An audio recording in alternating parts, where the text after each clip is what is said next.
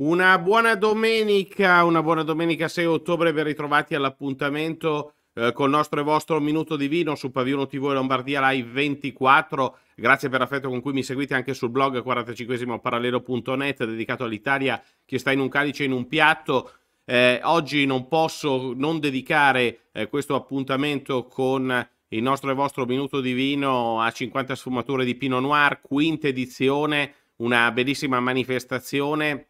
che da ieri, sabato 5 ottobre, eh, porta a Voghera, 45 minuti da Milano, tanti produttori di Pinot Noir, il Pinot Nero, il vitigno più internazionale che esista, con eh, tante declinazioni eh, di vini in degustazione, eh, tante declinazioni di vini che arrivano dall'oltrepo pavese e dal resto d'Italia e ci sono eh, anche alcuni ospiti eh, internazionali. Eh, ieri una giornata di assaggi, eh, è un evento di degustazione diffusa nel centro storico di una città bellissima come Voghera, che è anche la mia città di cui sono molto orgoglioso, con le sue chiese, le sue piazze, la sua via Emilia, il suo centro storico e attorno a Voghera le colline meravigliose da eh, cui nasce un eh, una grande enologia di qualità eh, proprio nel segno del Pino Nero che è l'emblema dell'alta gamma anche in oltrepò pavese. Ieri un evento importante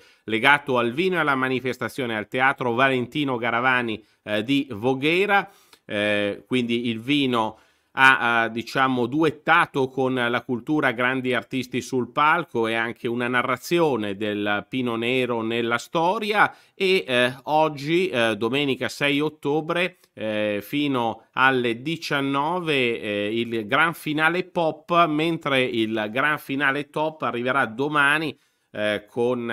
eh, gli eventi legati al B2B, eh, quindi i produttori, espositori incontreranno i professionisti dell'Oreca, hotel, ristoranti e catering eh, per eh, una grande opera di valorizzazione. Tutte le informazioni sul sito 50 sfumature di pinonoir.it, un evento che è diventato una tradizione e un evento anche che ha insegnato